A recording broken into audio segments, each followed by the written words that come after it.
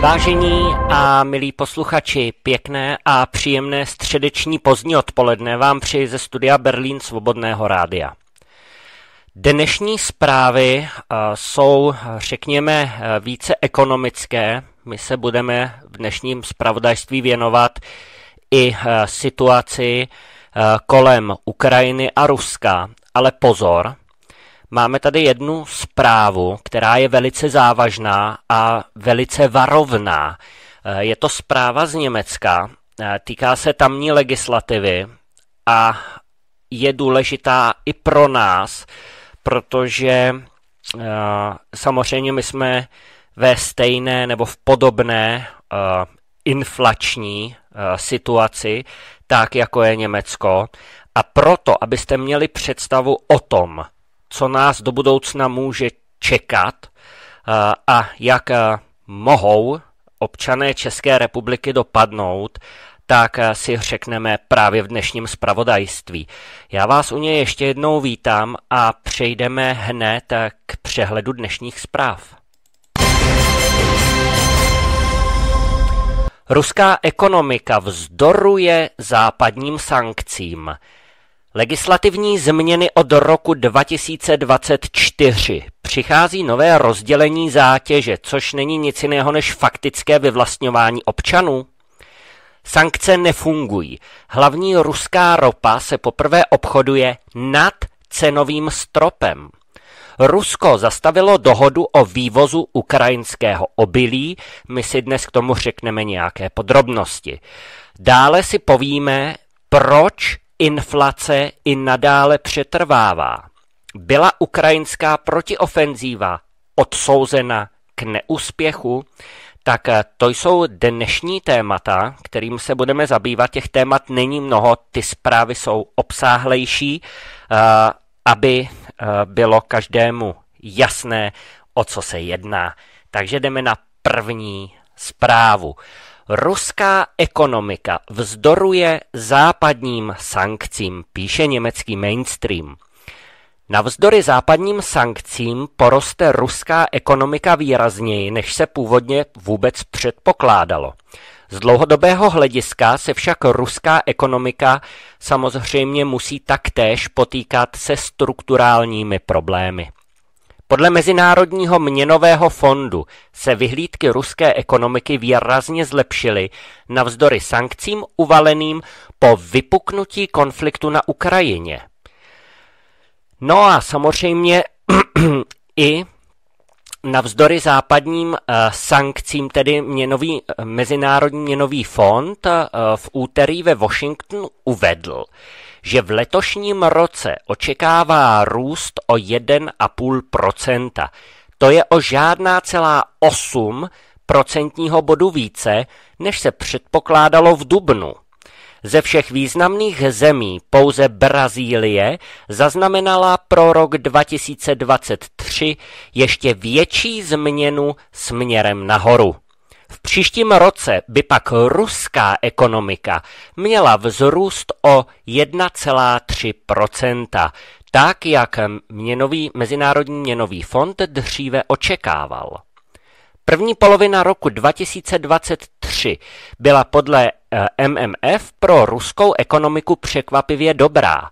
Ve své nové zprávě o světové ekonomice se odborníci odvolávají na nejnovější údaje z maloobchodu, stavebnictví a průmyslové výroby. Kromě toho pozitivně působily vysoké vládní výdaje a podpora. No a nyní k té zprávě, o které jsem hovořil na začátku. Velmi pozorně poslouchejte. Legislativní změny od roku 2024. Přichází nové rozdělení zátěže, tedy faktické vyvlastňování občanů.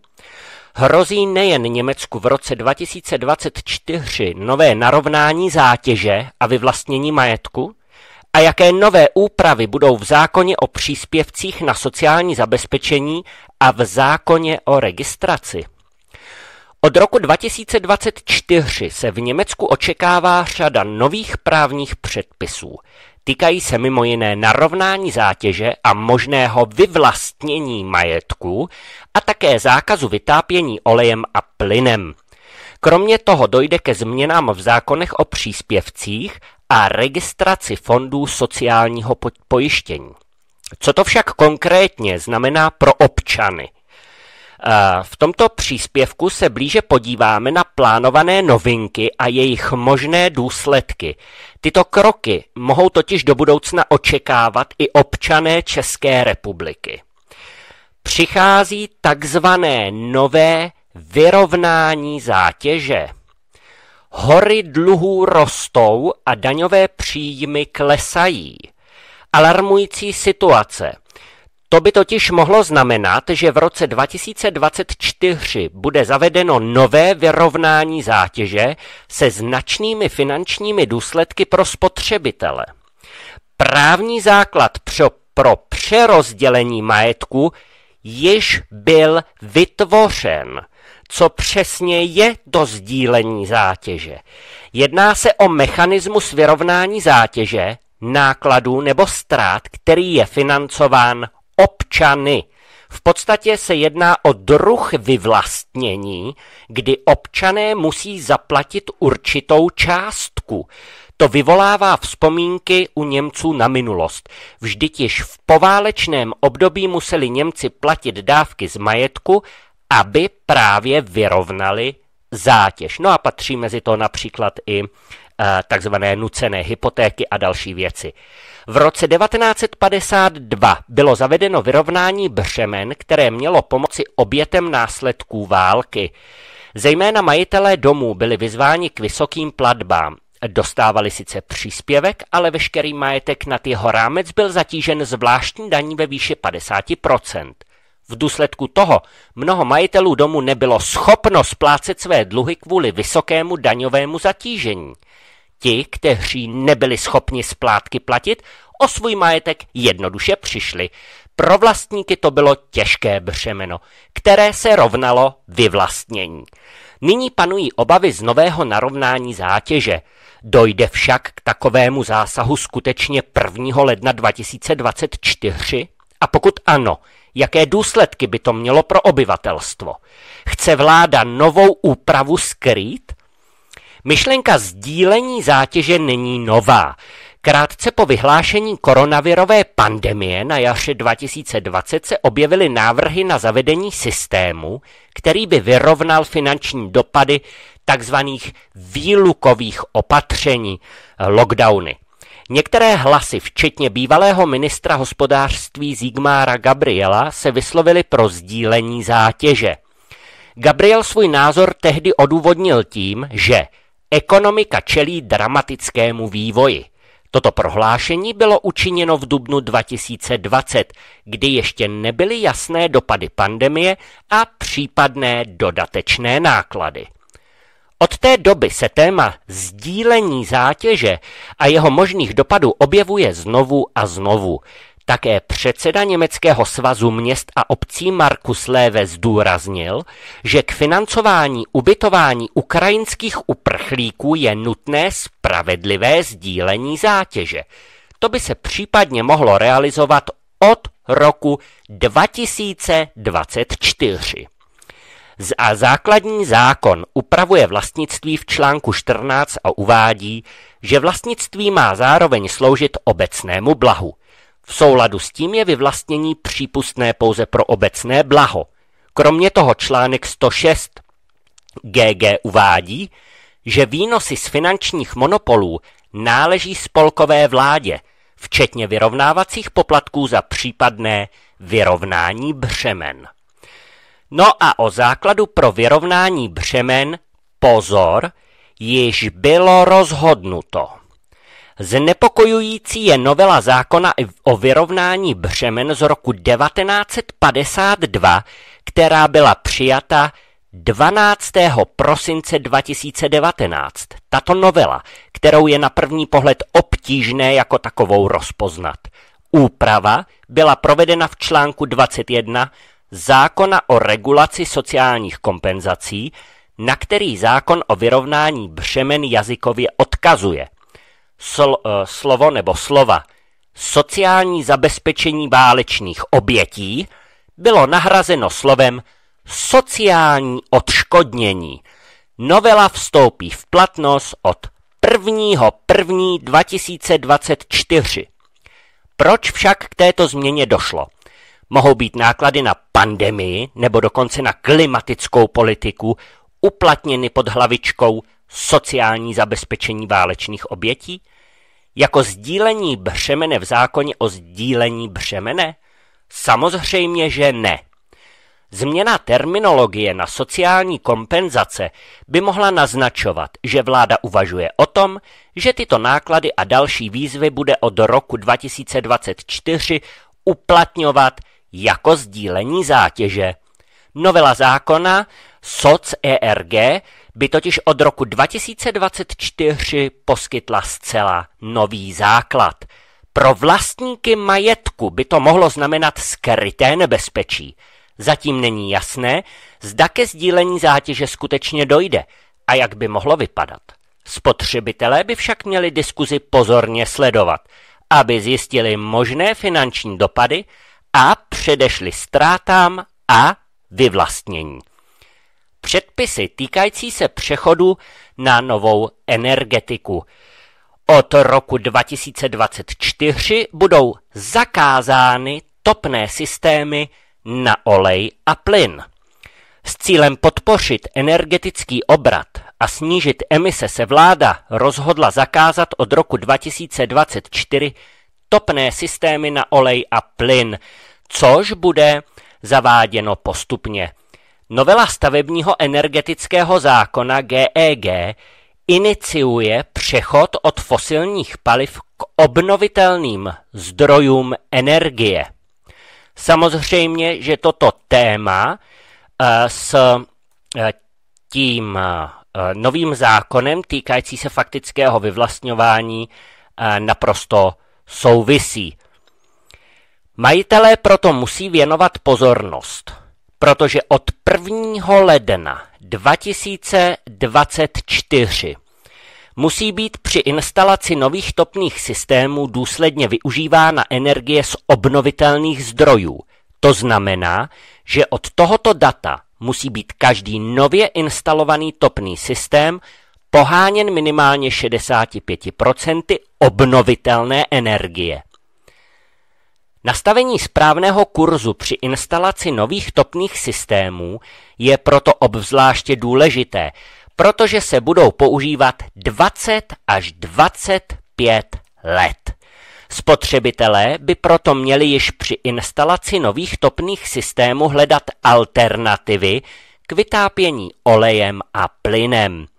Stávající topné systémy mohou být i nadále provozovány nebo opravovány.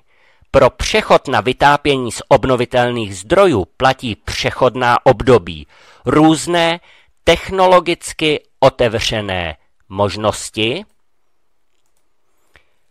eh, dodržování předpisů a samozřejmě možnosti výjimek ve zvláštních situacích. Jako jedna z možností byla přidána také instalace solárních tepelních systémů. Další možností jsou takzvané hybridní systémy vytápění. Další podrobnosti o nových právních předpisech v oblasti vytápění samozřejmě lze naleznout na, jak na oficiálních stránkách e, německé vlády a německého ministerstva hospodářství, tak i na německém mainstreamu. Tak, eh, Mezitím od roku 2024 vstoupí v platnost také změny v zákoně o příspěvcích na sociální zabezpečení, tedy sociální dávky, a o registraci. Mají usnadnit institucím sociálního zabezpečení stanovení nároků pojištěnců na dávky, výpočet příspěvků a další úkoly – Změny jsou součástí osmé novely zákona, který se v Německu jmenuje SGB 4 a mají optimalizovat jeden z největších elektronických hromadných postupů v Německu. Jedna ze změn se týká postupu hlášení rodičovské dovolené. Zaměstnance, kteří čerpají rodičovskou dovolenou a nebyli dosud odhlášeni z evidence pro účely pobírání mateřské dávky, má zaměstnavatel odhlásit na začátku rodičovské dovolené a znovu přihlásit na jejím konci. Osoby se zákonným zdravotním pojištěním musí být odhlášeny pouze v případě, že rodičovská dovolená trvá déle než jeden celý kalendářní měsíc. Dobrovolně nebo soukromně pojištěné osoby musí být registrovány i v případě kratší rodičovské dovolené. Další nová úprava se týká atestačního řízení A1.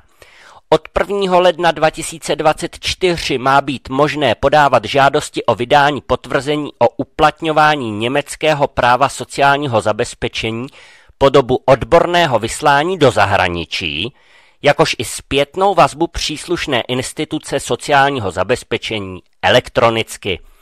Základní rysy tohoto postupu mají být rozšířeny i na vyslání do států mimo Evropskou unii, s nimiž Německo uzavřelo dvoustranou dohodu o sociálním zabezpečení. Pokud se zaměstnavatel a orgán sociálního zabezpečení dohodnou na vyslání, lze práci ze zahraničí vykonávat po omezenou dobu. No a změny se dotknou také elektronicky asistované daňové kontroly. Od 1. ledna 2024 budou zaměstnavatelé povinni předávat příslušné informace ze starého programu mzdového účetnictví v digitální podobě Fondu důchodového pojištění, který bude údaje uchovávat až do ukončení kontroly. Tím se má předejít informačním deficitům a z nich plynoucím problémům při příštím auditu společnosti. Zaměstnavatelé by se měli o chystaných změnách včas informovat, aby mohli včas splnit nové požadavky v roce 2024. Takže to bylo jenom v krátkosti novinky, které se legislativně chystají samozřejmě proti občanům v Německu a e, my budeme sledovat tu situaci, co bude Fialova vláda přebírat do České republiky.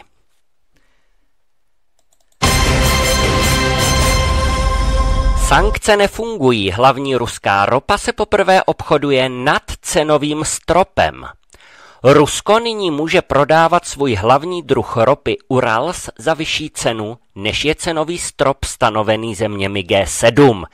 To je pro Kreml úspěch a ukazuje to na klesající cenovou sílu západu. Od 5. prosince loňského roku smějí společnosti v EU, zemích G7 a Austrálii přepravovat a pojišťovat ruskou ropu pouze v případě, že je cena nižší než 60 dolarů za barel. Pro, rafinova, pro uh, rafinované ropné produkty existují samostatné limity. Ale již během čtyř týdnů po zavedení cenového stropu se průměrná cena ruské ropy pohybovala kolem 74 dolarů za barel, pouze nejdůležitější druh ruské ropy, Ural, dosahoval na exportních místech v Baltském a Černém moři výrazně nižší ceny. To se nyní změnilo. Jak uvádí komoditní datová společnost Argus Media, v posledních dnech se cena ropy Urals poprvé dostala nad západní cenový strop 60 dolarů za barel. Rusku se nyní zřejmě podařilo obejít západní sankce i pro svůj nejdůležitější druh ropy. Západ se cenovým stropem snažil omezit hlavní zdroj ruských příjmů, aniž by ruské producenty vytlačil ze světového trhu s ropou, což by mělo udržet ceny celkově na nižší úrovni.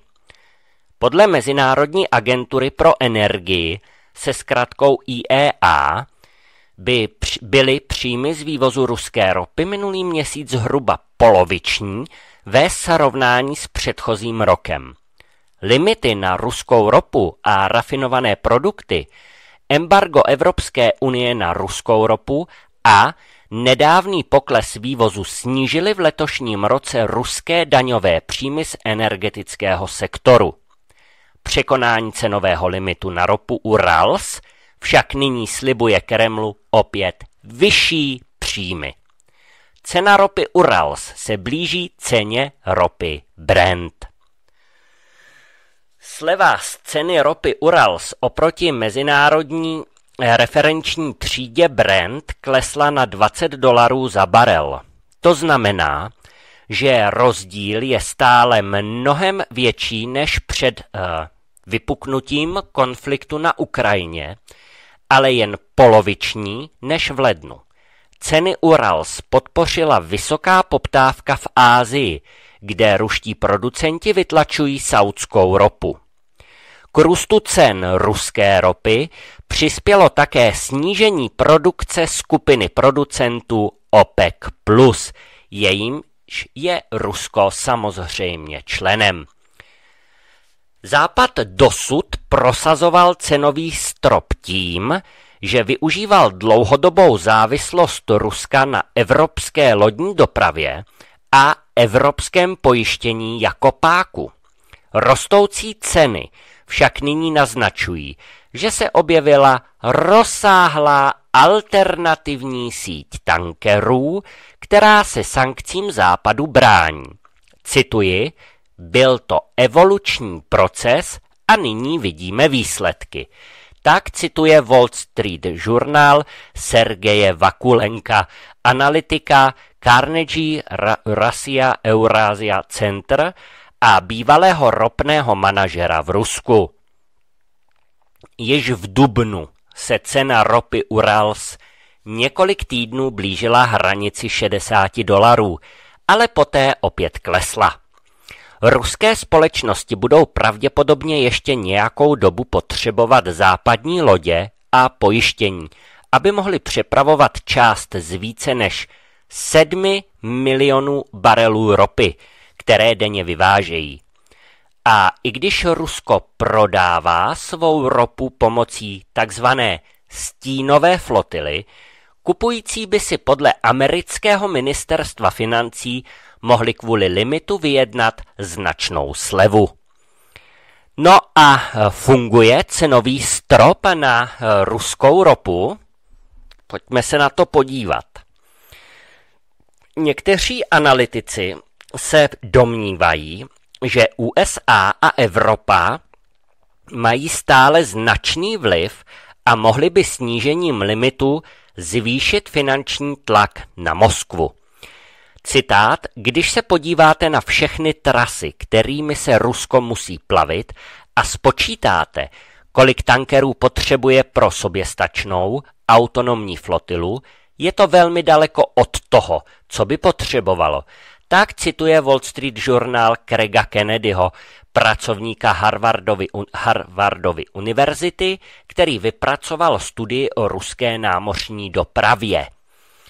Od února loňského roku, kdy začala válka nebo kdy začal konflikt na Ukrajině, je stále obtížnější určit ceny, za které se ruská ropa skutečně obchoduje. Obchodníci a úředníci se musí spoléhat na odhady agentur, které ceny hlásí. Společnost SN, SAP Global dříve schromažďovala tvrdé údaje z interkontinentální burzy, kde se s ropou Urals také obchodovalo. Tento trh se však dostal pod drobnohled. SAP a Argus se nyní spoléhají na rozhovory s kontakty na trhu a na informace, jako jsou hodnoty rafinací a přepravní sazby. Ukrajina a Polsko lobovali za snížení stropu. Namísto toho se USA a Evropská unie zaměřili na přísnější prosazování těchto pravidel. Klíčové oblasti, na které se zaměřují, zahrnují nakládku ropy na moři a nově vytvořenou stínovou flotilu tankérů zakoupených, pojištěných a pronajatých mimo západ.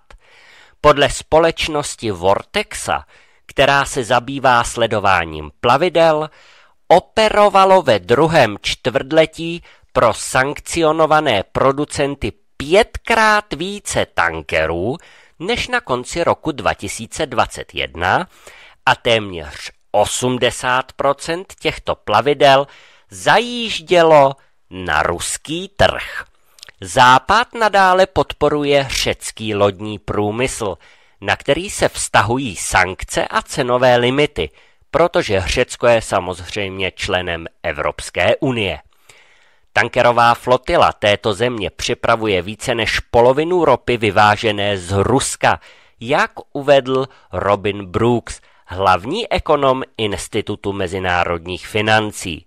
Cituji, Západ má skutečnou cenovou sílu, tak ho uh, cituje deník Wall Street Journal. Podle něj by se strop mohl snížit na 20 až 30 dolarů za barel. No jenomže cenová síla západu slábne.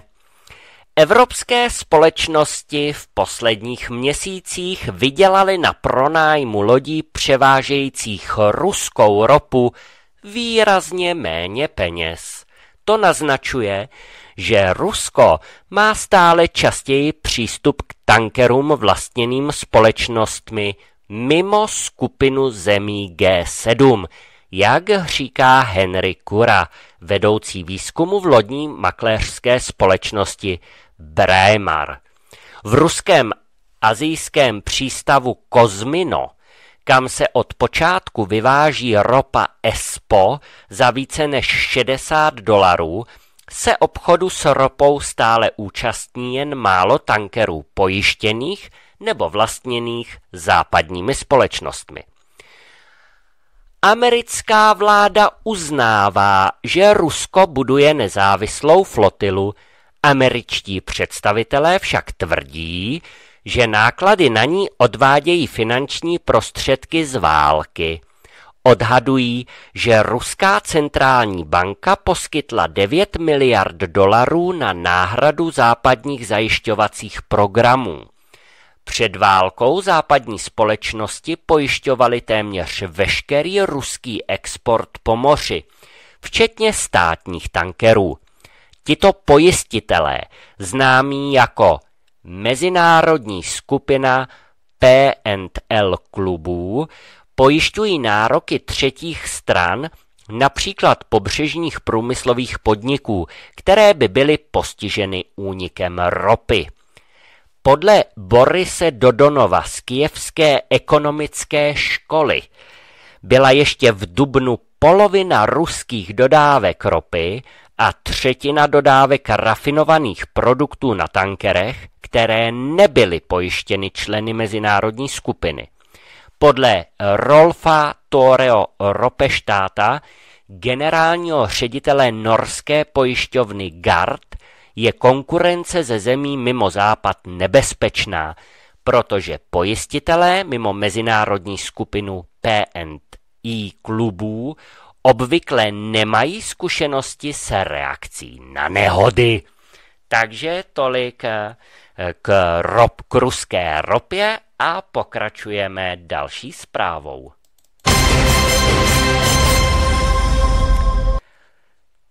V Rusku ještě zůstanem a nyní si trošku detailně povíme něco o uh, vývozu ukrajinského obilí, protože Rusko nedávno zastavilo dohodu o vývozu ukrajinského obilí.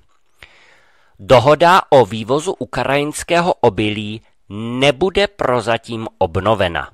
Rusko to zdůvodňuje tím, že sliby dané v rámci dohody nebyly splněny.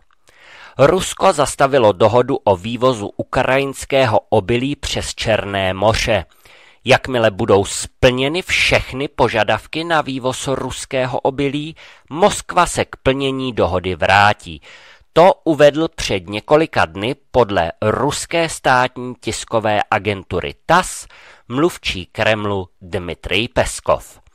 Dohoda s Ruskem a Ukrajinou byla po několika prodloužených oficiál, prodlouženích oficiálně platná až do pondělka předminulého týdne pozdního večera. Peskov popřel, že by pondělní útok na Krymský most, eh, který se nedávno stal, měl jakýkoliv vliv na budoucnost obilné dohody. Přímo prohlásil, jedná se o dvě nesouvisející události. Víte, že ještě před teroristickým útokem vyjádřil stanovisko prezident Putin. To řekl eh, tehdy Peskov. No a ruský prezident Vladimír Putin prohlásil, že pro prodloužení dohody chybí podklady. Tím se zastavila přeprava milionu tun ukrajinského obilí, hlavně kukuřice a pšenice po moři, ačkoliv vývoz je důležitý zejména právě pro chudčí země. Ruský prezident Putin se až do konce stavěl proti prodloužení dohody. Podle něj nebyly splněny sliby, které byly Rusku v průběhu dohody dány. Následující čtvrtek Putin dále hovořil o možnosti pozastavení účasti Ruska na dohodě, dokud nebudou sliby splněny. Moskva na oplátku požadovala úlevu od sankcí na vývoz hnojiv a potravin, jako je pojištění, přeprava a také financování. Konkrétně Rusko požadovalo, aby jeho státní zemědělská banka byla vyňata ze sankcí západu, aby mohla podnikat. Rusko rovněž zablokovalo námořní přístavy sousední země. Vzhledem k tomu, že Ukrajina je významným vývozcem zemědělských produktů, vzrostly celosvětově obavy z rostoucích cen potravin a z krize hladu v nejchudších zemích. Loni v létě pak byla za zprostředkování OSN a Turecka vyjednána tzv. obilní dohoda. Ta umožnila Ukrajině vyvážet přes Černé moře, ale pouze v omezené míře. Zástupci OSN, Ruska, Ukrajiny a Turecka kontrolovali v Istanbulu lodní zásilky. Dohoda byla několikrát prodloužena, naposledy v polovině května o dva měsíce. Ukrajina a Rusko jsou významnými dodavateli pšenice, ječmene, slunečnicového oleje a dalších potravin do zemí v Africe, na Blízkém východě a v některých částech Ázie. Před začátkem eh, konfliktu na Ukrajině v únoru 2022 dodávali téměř čtvrtinu světového vývozu obilí. Rusko bylo také největším světovým vývozcem hnojiv.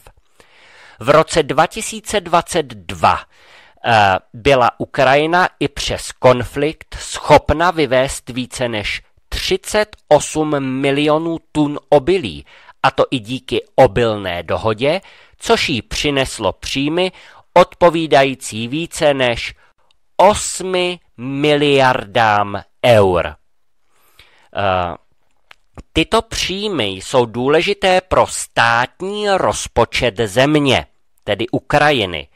Téměř 75% vývozu směřovalo do zahraničí přes přístavy na Černém moři a Dunaji. V porovnání s rokem 2021 se vývoz po moři snížil přibližně o 23% Tak, eh, to byl tedy, eh, to byla zpráva týkající se Ruska, Ukrajiny vývozu obilí a o e, příjmech 8 miliard eur, které Ukrajina e, vydělala. Tak a my jdeme na další zprávu.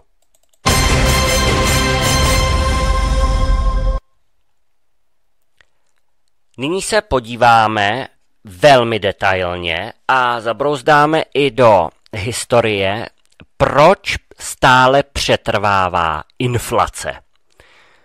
Příliš mnoho peněz za příliš málo zboží.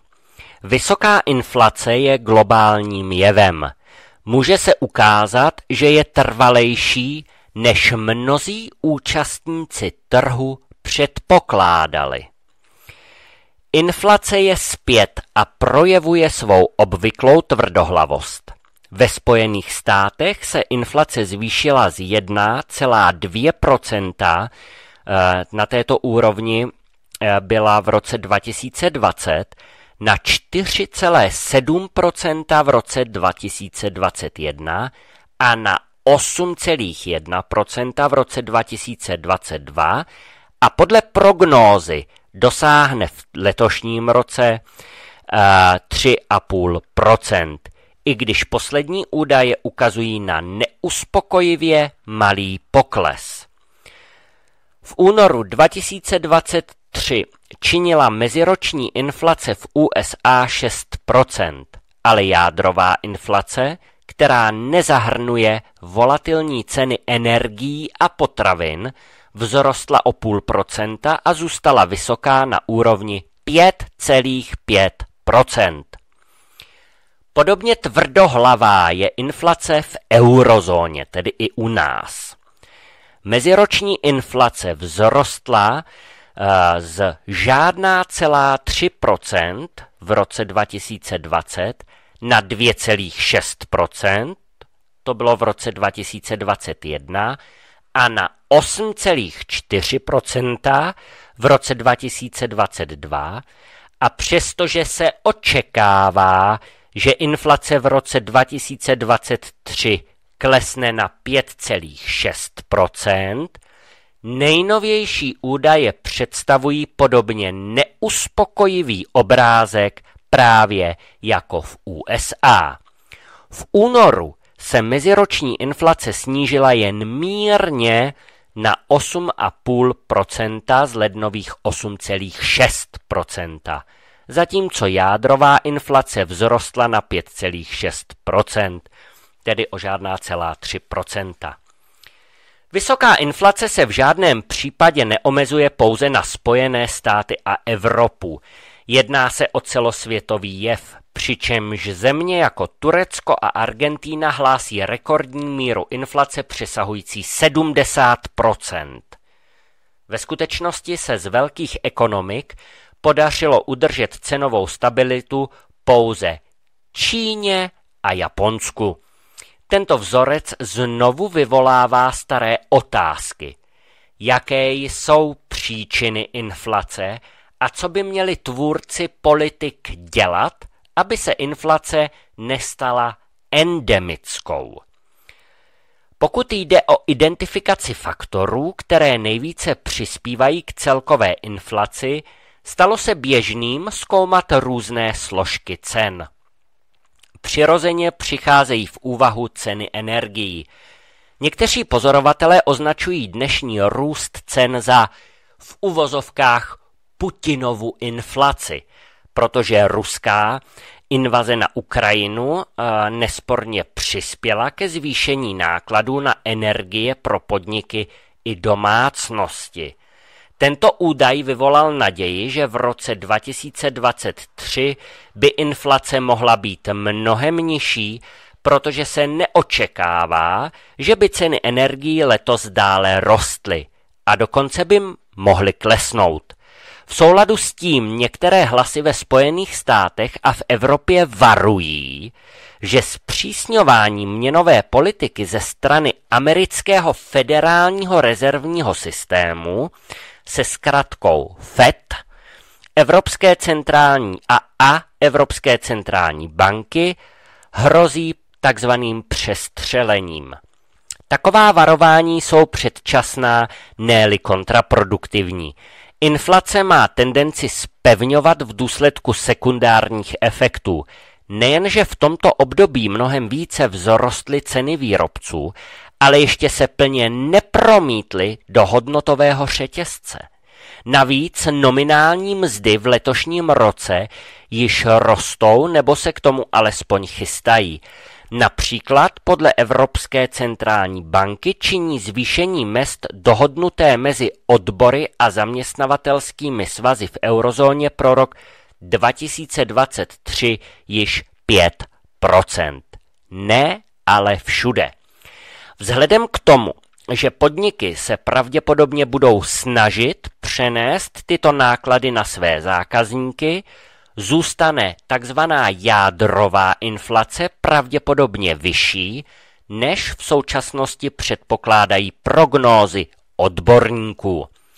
Ještě významnějším uh, faktem je, že zaměření na relativní význam cenových složek, právě například cen energií, jako takzvaného příčinného faktoru vede k přeceňování mikroekonomického základu makroekonomiky.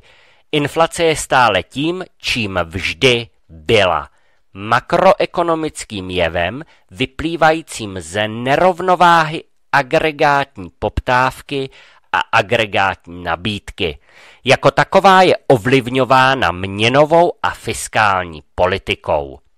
No, aby to bylo pochopitelnější, tak pro ilustraci tohoto bodu si připomeňme situaci v roce 2021. Míra inflace ve Spojených státech dosahovala již 4,7% a v eurozóně začala ve druhé polovině roku zrychlovat. Ještě před eh, vypuknutím konfliktu na Ukrajině ceny energií v eurozóně prudce rostly a výrazně přispívaly k inflaci. Po vypuknutí konfliktu na Ukrajině se amerických trhů dopad konfliktu na ceny příliš nedotkl. Inflace však nadále rostla. Jak tedy tato inflace vznikla? V letech 2020 a 2021 se fiskální a měnová politika stala příliš expanzivní, protože politici spěchali, aby omezili hospodářský dopad pandemie a stabilizovali ekonomiku. Tento vývoj probíhal po celém světě ale zvláště výrazný byl ve Spojených státech, kde byly fiskální stimuly mobilizované Trumpovou a Bidenovou administrativou rozsáhlejší než pokles hrubého domácího produktu způsobený pandemií. Fiskální expanze v USA byla navíc doprovázena expanzivní měnovou politikou, protože Fed zasahoval na podporu agregátní poptávky. Aby toho nebylo málo, současně se snížila agregátní nabídka v důsledku narušení dopravy. To znamená to zpřetrhání těch dopravních uh, řetězců, uh, samozřejmě hodnotových řetězců a narušení trhu práce. A protože americká ekonomika má jedinečnou schopnost ovlivňovat ceny na mezinárodních trzích, takže se nás taktéž týká, rozšířila se americká inflační vlna do dalších zemí, no a v neposlední řadě do menších ekonomik v rámci Evropské měnové unie EMU. Takže uh, dnes už je jasné, že inflace sem nepřišla z Ruska, ale inflace sem přišla ze Spojených států amerických. V Evropě vstoupil do hry podobný soubor nástrojů fiskální a měnové politiky.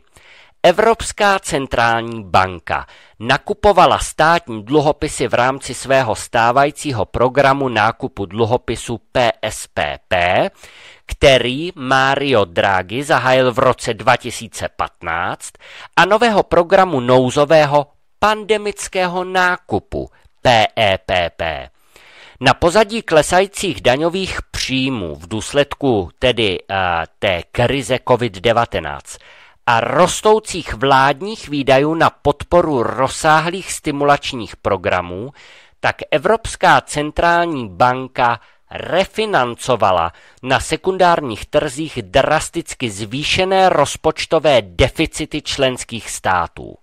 V reálné ekonomice se měnové financování fiskální politiky dostavilo v podobě vyšších transferových výdajů, zvýšené veřejné spotřeby a vyšších veřejných investic.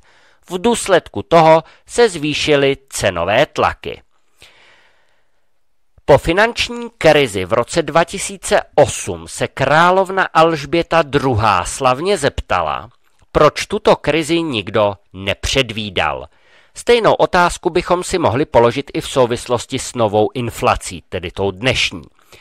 Ve Spojených státech tvůrci měnové politiky a četní komentátoři tvrdili, že inflace v roce 2021 bude dočasná.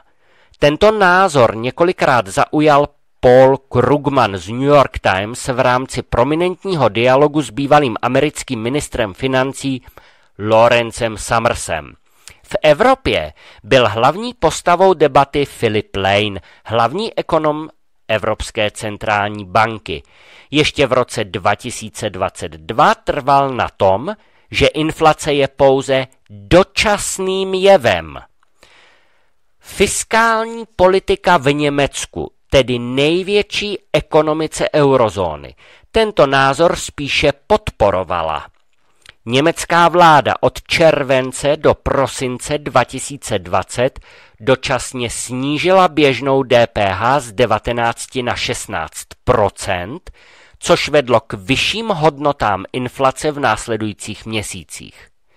Německá rada ekonomických expertů ve své výroční zprávě z listopadu 2020 odhadla, že tato politika zvýší inflaci o 1% bod.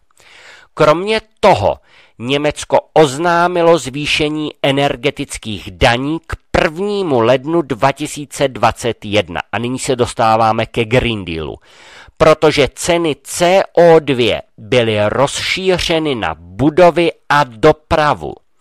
Podle Německé rady ekonomických expertů to přispělo k míře inflace až dalším procentním bodem.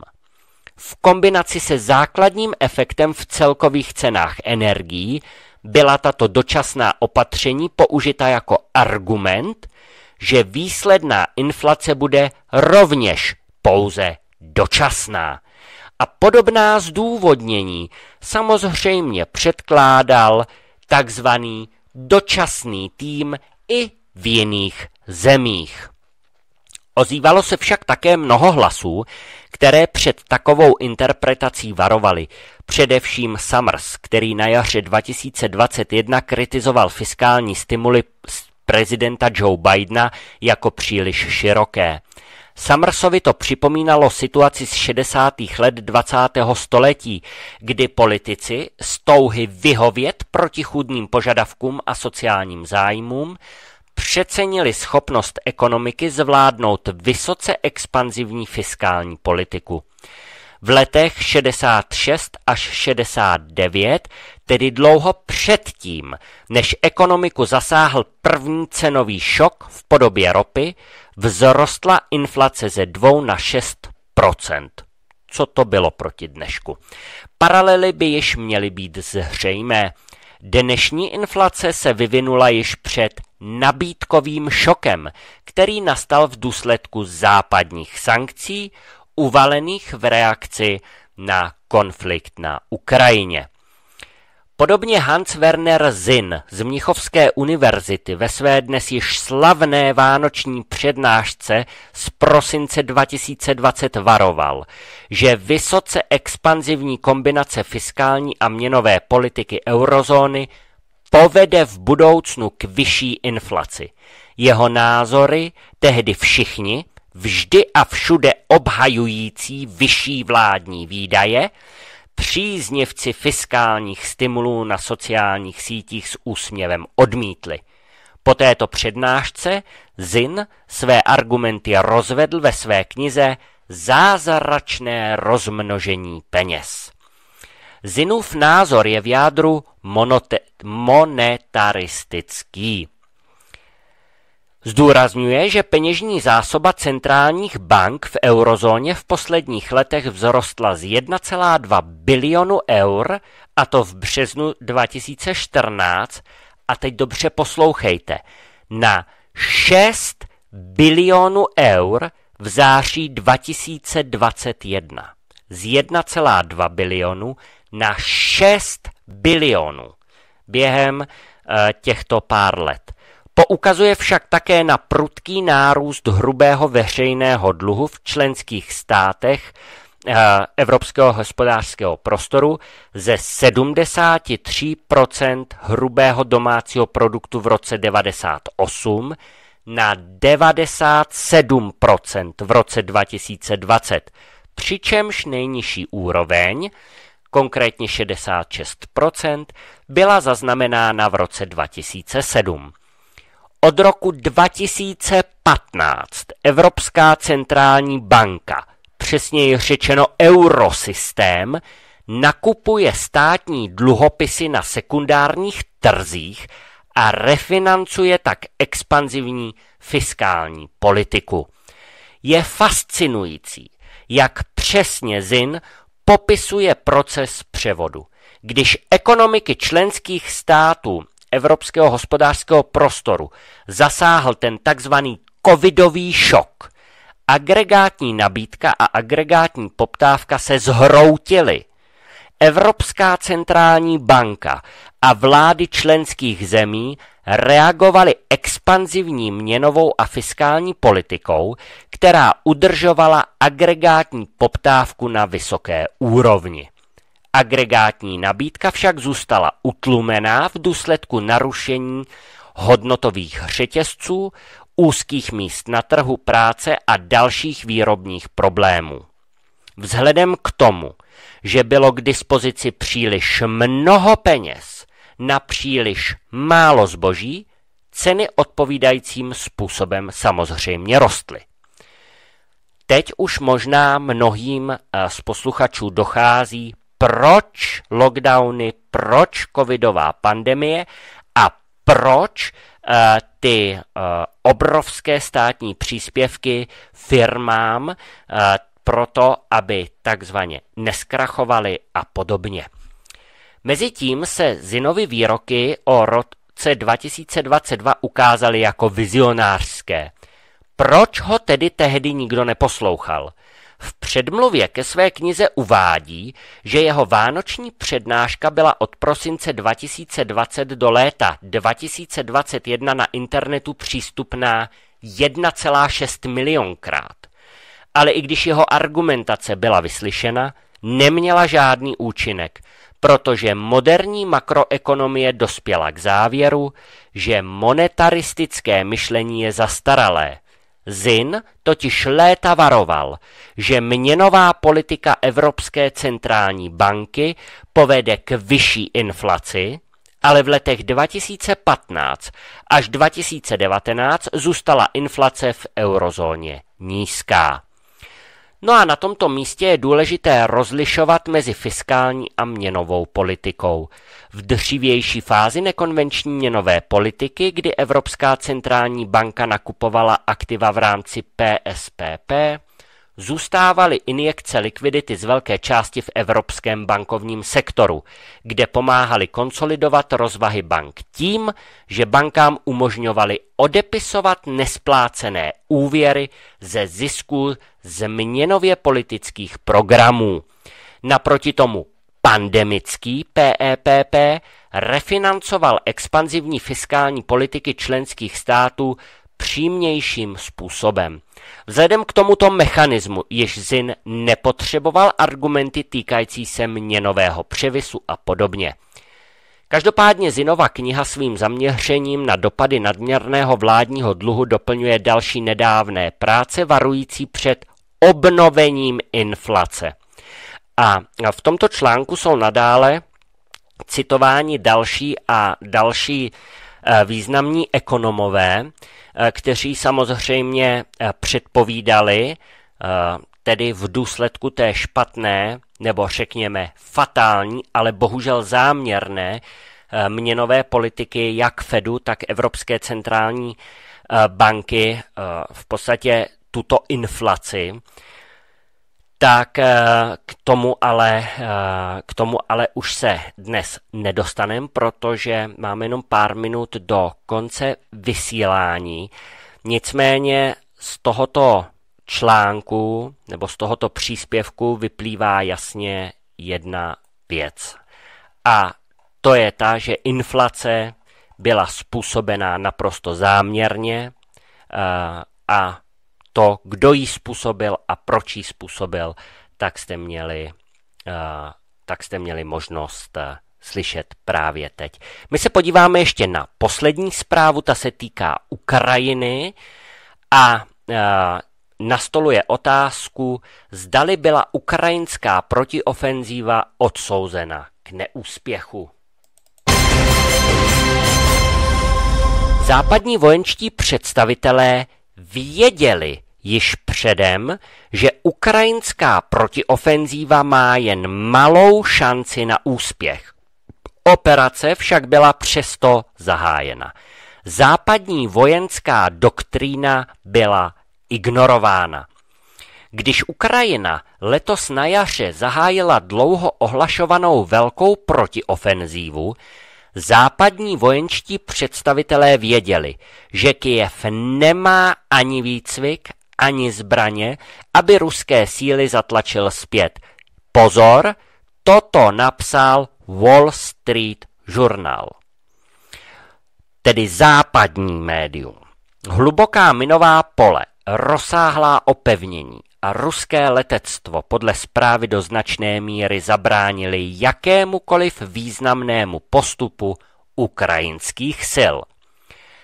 Navzdory všem ukrajinským ztrátám a nedostatečným vojenským úspěchům generál Mark Milley, předseda sboru náčelníku štábu USA, 14. července prohlásil, že ukrajinská protiofenzíva, cituji, zdaleka nebyla neúspěšná a že boj, který je před námi, bude dlouhý a krvavý. Ma, uh, Milej je však známý tím, že vždy říká to, co chce Bílý dům slyšet, bez ohledu na svůj vojenský úsudek. Podobně se v neděli vyjádřil i americký ministr zahraničí Antony Blinken. Nejnovější ukrajinská protiofenzíva je teprve v počáteční fázi a bude to velmi tvrdý boj, to řekl pro CNN. A pokračoval, neodehraje se během příštího týdne nebo dvou. Je pravděpodobné, že protiofenzíva bude trvat ještě několik měsíců. Eh, dne 19. července USA oznámili další bezpečnostní pomoc Ukrajině ve výši přibližně 1,3 miliardy dolarů. Podle Pentagonu nejnovější balíček zahrnuje čtyři raketové systémy země vzduch NASAMS a munici dělostřelecké granáty ráže 152 mm, odminovací zařízení a bezpilotní letouny. Vojenská podpora ze strany USA by se však mohla brzy výrazně snížit. Americký prezident Joe Biden bude na podzim 2024 znovu zvolen a mnozí ve Washingtonu se domnívají, že obavy z negativních dopadů války na volební kampaň povedou k poklesu podpory Ukrajiny. Je zajímavé, jak západní média už dnes píšou, že americký prezident Joe Biden bude na podzim 2024 znovu zvolen. Jak to můžou pro boha vědět? No nic, jdeme dál. A pokud USA svou podporu sníží, Evropa pravděpodobně nezasáhne a výrazně nezvýší svou podporu Kijevu, jak tvrdí západní diplomaté. Takže uh, to bylo v podstatě z dnešních zpráv ode mě vše. Je jasné, že je tady naprostý zájem západu, nebo alespoň to vyplývá z tohoto článku, že eh, válku eh, s válkou se počítá ještě na dlouhé měsíce, ne roky, eh, čímž samozřejmě nelze tvrdit, že by to tak muselo absolutně být, protože uvidíme, jak dopadnou ty zmíněné volby v USA na podzim příštího roku. Vážení a milí posluchači, to je ode mě ze studia Berlín Svobodného rádia pro dnešek vše. Eh, já se s vámi loučím a budu se těšit v pátek od 19 hodin, kde s Jirkou Froňkem probereme dvě dnes zmiňovaná témata a tou těmi jsou inflace a vyvlastňování občanů, protože zákony, které jsou v Německu, jsou absolutně neskutečné.